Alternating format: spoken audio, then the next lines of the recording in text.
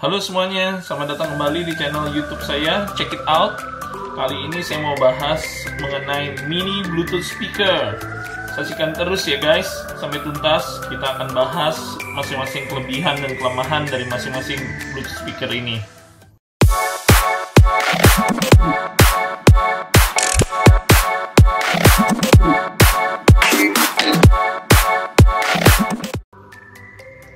Oke, sekarang saya mulai dengan membahas mengenai spek singkat dari masing-masing Bluetooth speaker ini.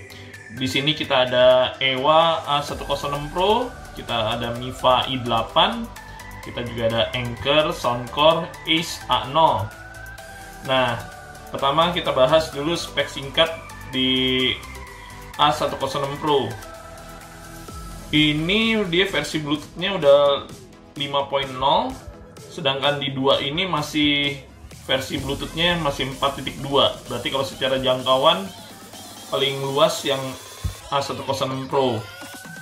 Berat paling berat juga di di A106 Pro ini sekitar 175 gram.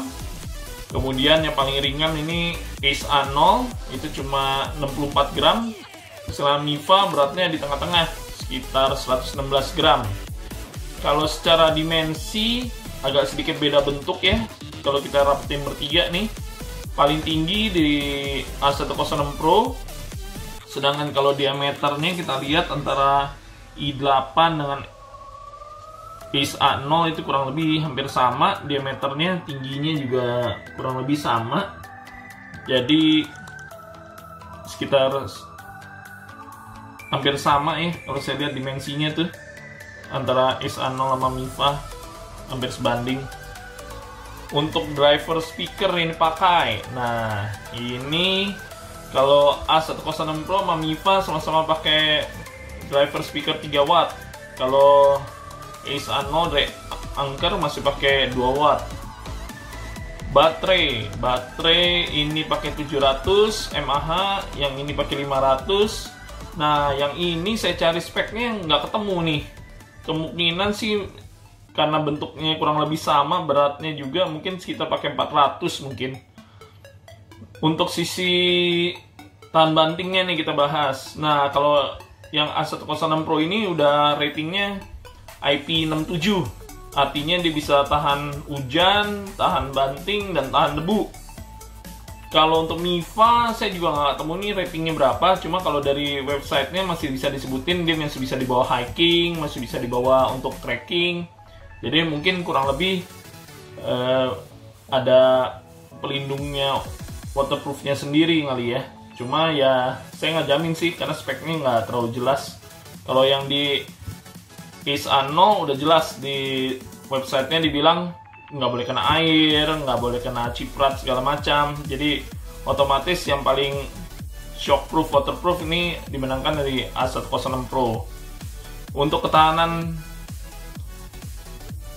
muter musiknya kurang lebih sama berempat. Yang 106 Pro diklaim bisa 4,5 jam. Terus dia juga bisa 12 jam kalau misalnya volumenya cuma di sekitar 50%.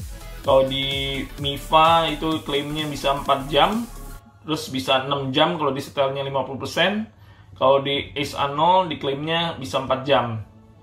Untuk mikrofon sendiri di dua ini nggak ada, hanya ada di Mifa i8. Jadi kalau kalian mau gunain sebagai handsfree Bluetooth speakernya cuma bisa pakai i8 ini. Yang dua ini nggak ada nih. Ingat-ingat ya guys, yang ada cuma ini.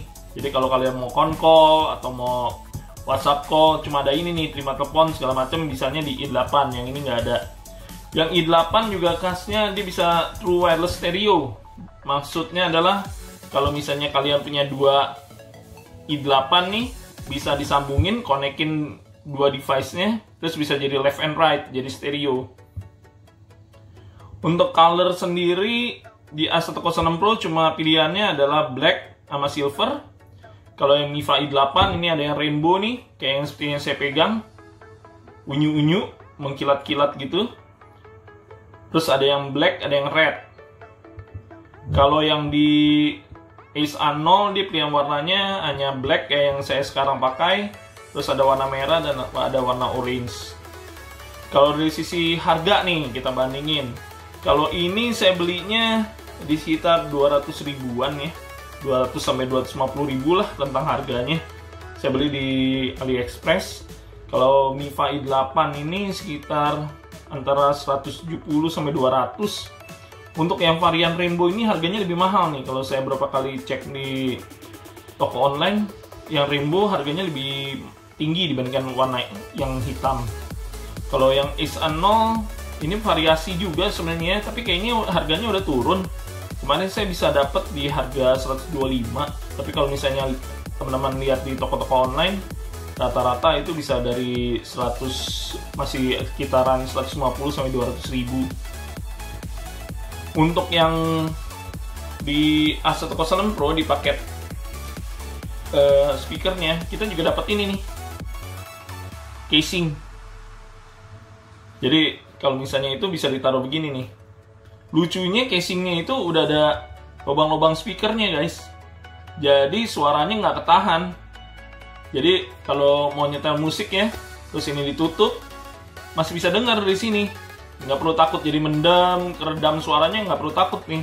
Karena dia emang khusus nih, case-nya udah ada lubang-lubangnya begini. Keren juga sih.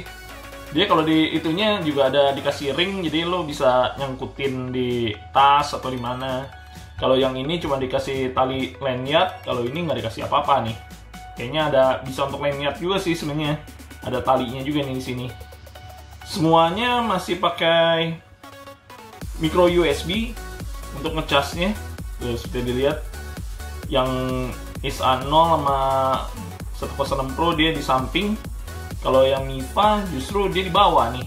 Nah ini yang saya rada nggak suka nih sama Mifa nih. Colokannya di bawah, jadi kalau ngecas tuh mesti dibalik begini. Kalau yang lain kan normal tuh, tinggal dicolok aja. Cuma ya semua sih standar sih masih pakai yang micro USB belum ada yang pakai USB Type C yang baru ya nah, jadi masih pakai micro USB yang lama oke untuk yang spek kurang lebih begitu mudah-mudahan teman-teman jelas jadi nanti bisa bantu teman-teman kalau misalnya lagi bingung mau milih speaker yang mana mudah-mudahan review saya ini bisa kebantu selanjutnya kita akan melanjutkan dengan tes suara Oke okay guys, kita masuk ke tes suara sekarang.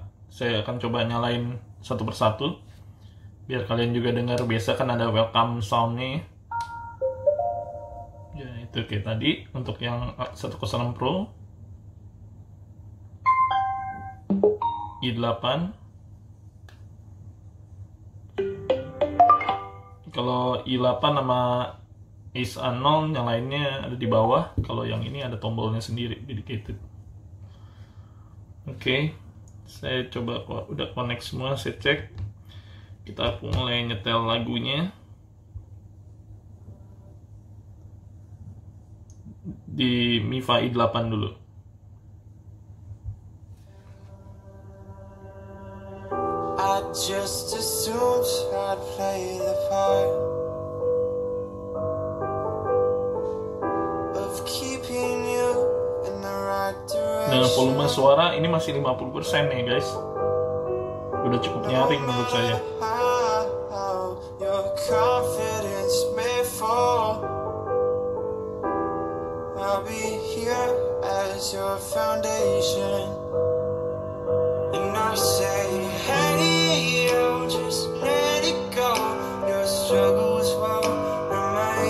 ganti ke 106 Pro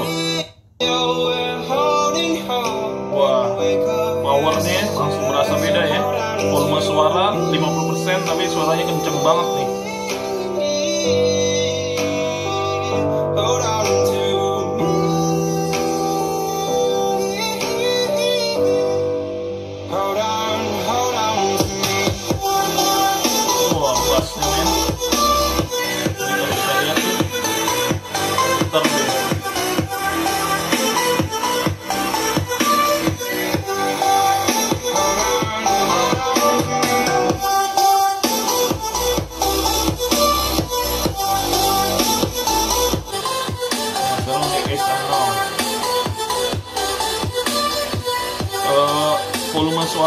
sama ya powernya antara i8 sama A0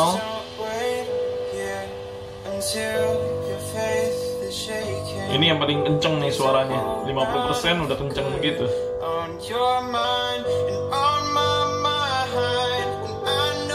Nanti mungkin teman-teman kalau mau dengerin suara tes sound dari mini speaker ini lebih baik sih pakai headphone nih jadi lebih jelas kedengaran suaranya masing-masing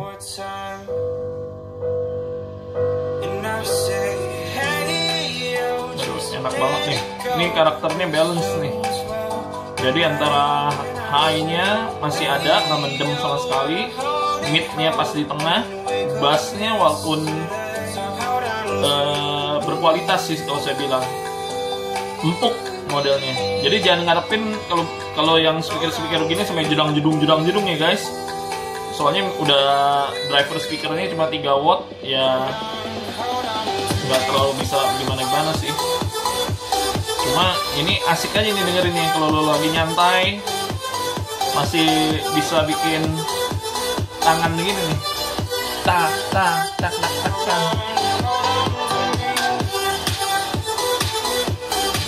kita ganti ke i8 ini kuantitas bassnya lebih sedikit dibandingkan ini cuma dia karakternya lebih ke arah balance juga kalau saya bilang. Masih dapet.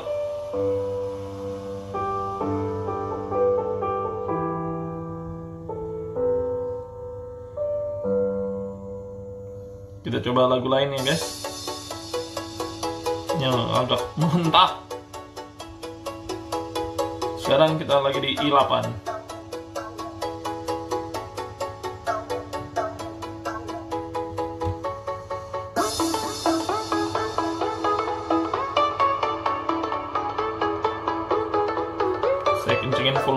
Santos por cima.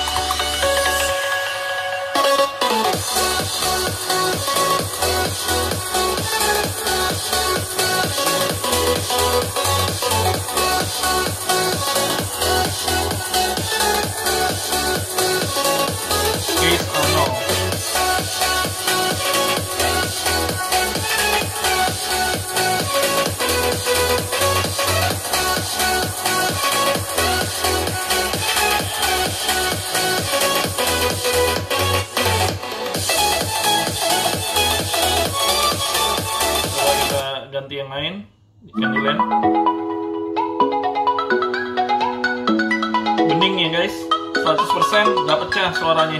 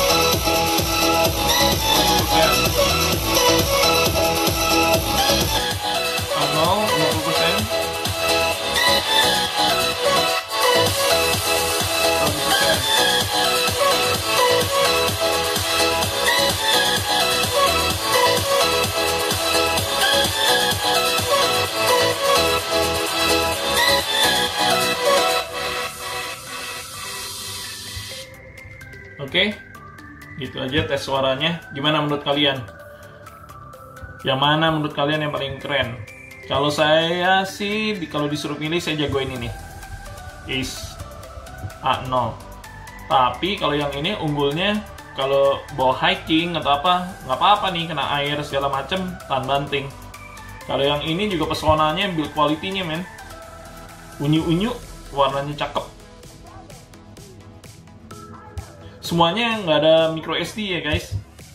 Jadi semuanya murni bluetooth. Oke gimana menurut pendapat kalian?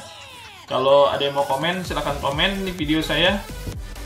Ada yang mau jagoin yang mana? Kalau menurut saya sih menurut pendapat saya pribadi sih semuanya oke. Okay. ini powernya besar paling besar ini. Ini lebih karena balance. Ini yang paling balance menurut saya sih. Oke okay, sekian video dari saya semoga dapat membantu kalian dalam memutuskan membeli bluetooth mini speaker. Thank you guys for watching. Kalau suka dengan videonya please like. Jangan lupa di subscribe channel youtube saya. Thank you. See you. Bye bye.